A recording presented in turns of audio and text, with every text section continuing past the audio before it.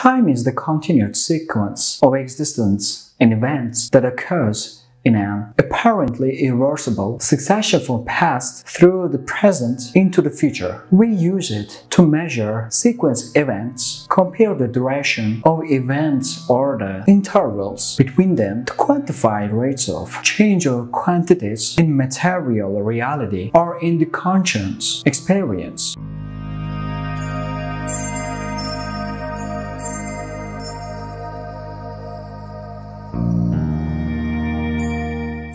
Time is the related to Old English tima, limited space of time, and is sourced from two ways, Proto-Germanic timon and Old Norse timi. For Turkish, time is zaman, and its roots from Arabic zaman. Arabic zaman is probably rooted to one of the three sources. It's Akkadian or Sami, or from archaic Persian Jamana. Time is significantly important for us. We can organize our habits and programs to work properly. All things are gradually age and eventually decay as time progresses.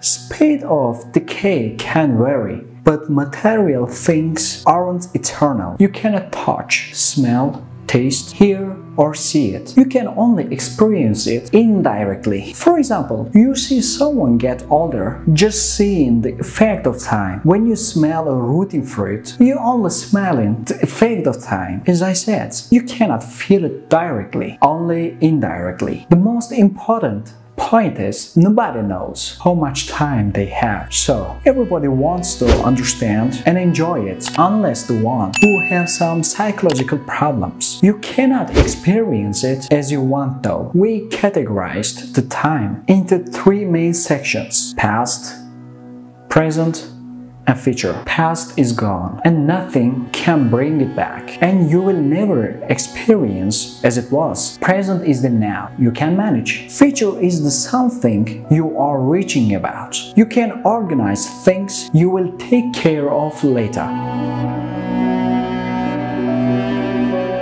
Time is existed and it's relatively. It passes based on experiences. For example, if you experience something that very enjoyable in the end, you will see the time passed quickly. Also, if you experience something unpleasant, you'll see time seem like against you. There was a man explain this phenomenon with flow. Mihaly Csikszentmihalyi explained this situation simply being in the zone.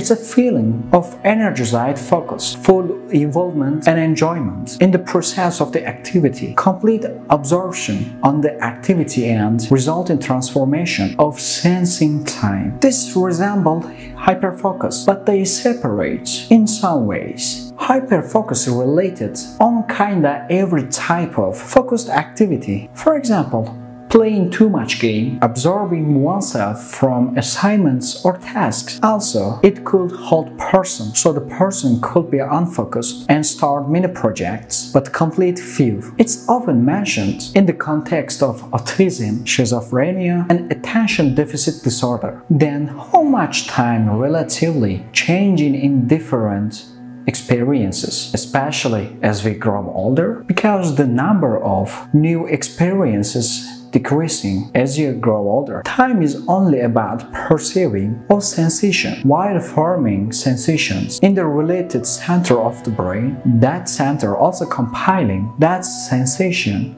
based on resembling previous experience. If there's none, creates a new index and store it. As we get older, the difference of sensation decreases. Also, the pathways of storage lose its function and we feel time passes quickly. When we were kids, the number of new experiences is on its peak point. Most of them are unique for us, so processing and understanding them take time. It passes slowly through, but not for old ones. They already know that experience. Your brain won't spend much energy to understand it, time flow fast through.